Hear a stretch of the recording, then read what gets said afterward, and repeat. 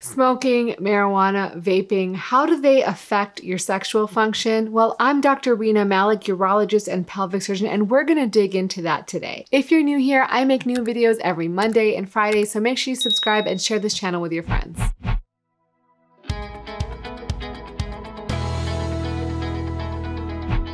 I'm gonna be quite honest with you guys. If there's one thing I wish people would stop doing, it is smoking. Smoking is probably the worst thing you can do for your health. Not only does it put you at risk for so many different cancers, lung cancer being the most common, but also prostate cancer and bladder cancer, it also can affect your erectile function and your fertility. Let's be realistic, guys. Having cancer feels like something that could never happen to you, right? So you might take that risk, but not being able to have an erection or have a baby is probably a bit more scary. So does smoking actually cause issues with erectile function? When you're looking at cigarettes, they have so many ingredients in them, nicotine and other chemicals that can cause issues with blood flow. Specifically, when you smoke, what happens is your blood vessels narrow so that blood can't travel throughout your body as well. It can also cause increased inflammation and issues with plaque buildup in the arteries.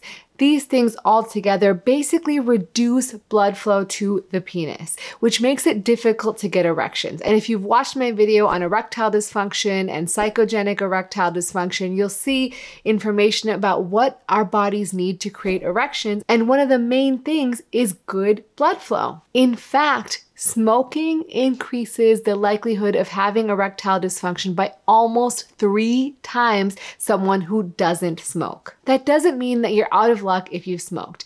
In fact, they've looked at studies and they've seen that after about three to six months of stopping smoking, people's erectile function and sexual performance increases. So, three to six months is not a really long time. If you're struggling with erectile function and you're smoking, I strongly encourage you to try and quit and see if this improves your erectile function. If you're ready, make sure you talk to your doctor because actually getting help from someone who specializes in smoking cessation or even getting medication to help you with quitting smoking can increase your likelihood of being successful by four times. What about vaping? Vaping is all the rage these days. And in fact, a lot of people have talked about using vaping as a way to help wean off of smoking. But does it impact your sexual function? Well, in 2021, they did a study where they looked at data from over 20,000 men, and they included only healthy men who didn't have high cholesterol, heart problems, being overweight or obese, didn't have diabetes, and never smoked outside of vaping before.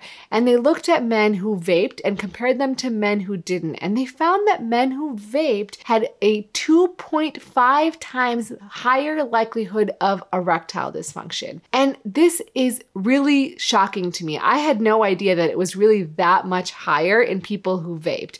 And the reason being is that a lot of times the vape products still have nicotine in them. And because they're boiled or heated up in a different way, you might be getting different exposure to different chemicals in vaping than you do with smoking. So there's a lot still that we don't know about vaping.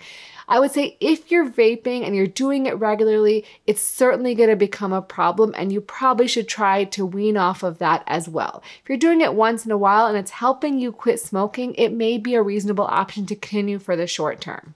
Lastly, let's talk about marijuana. Marijuana is interesting because we use marijuana in the medical field for lots of different things, including things like chronic pain, for people who have cancer, for people who have difficulty eating, and other chronic conditions. In fact, even in urology, I've seen studies about cannabinoids or marijuana derivatives used for patients with multiple sclerosis and urinary problems. There's certainly value in it for certain problems. But what about for sexual function? Well, it's a little bit complicated because marijuana is a relaxant, and because it relaxes you, it can increase dopamine or that feel good molecule in your body, making you feel a little bit euphoric and maybe even increase your libido in the short term. However, when you're using it more chronically, it can create other problems. Notably, sometimes it can create drowsiness, which can actually reduce your libido. So when you're using too much of it, you can feel too tired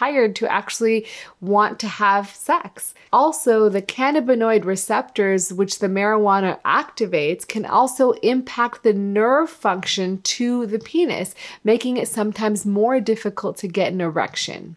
And lastly, because marijuana heightens sensation, for some people, that heightened sensation can lead to not being able to last as long or premature ejaculation. However, this may not affect you or everybody the same way. We don't have a lot of good data on marijuana use, primarily because it's been illegal for so long and there's so many different formulations that it's very difficult to study in a scientific setting. But bottom line is in the short term, you might find some increased libido when you're using marijuana, but in the long term, it may create some difficulties in the bedroom. As always, I hope you guys found this useful and remember to take care of yourself because you're worth it.